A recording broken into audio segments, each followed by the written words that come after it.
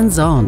The new retaining arms with lashing strap for the BMW Rear Bike Carrier Pro allow you to transport e-bikes and carbon bikes simply and safely.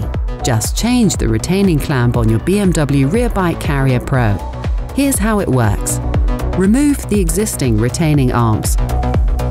Unlock the lashing strap with a key and press the clamping lever to fully release the lashing strap. Turn the lever anti-clockwise and press it to open the retaining clamp. Position the retaining arm on the BMW bike carrier's frame, release the button and secure it by turning the lever clockwise. Now put your bike stably on the carrier. Position the retaining arm fitting to your bike frame. Wrap the lashing strap around your bike frame and make sure not to squeeze any shifter or brake cables. Now thread the belt in and tension the strap with a clamping lever. Ride together. Attach the second retaining arm just the same to fix another bike.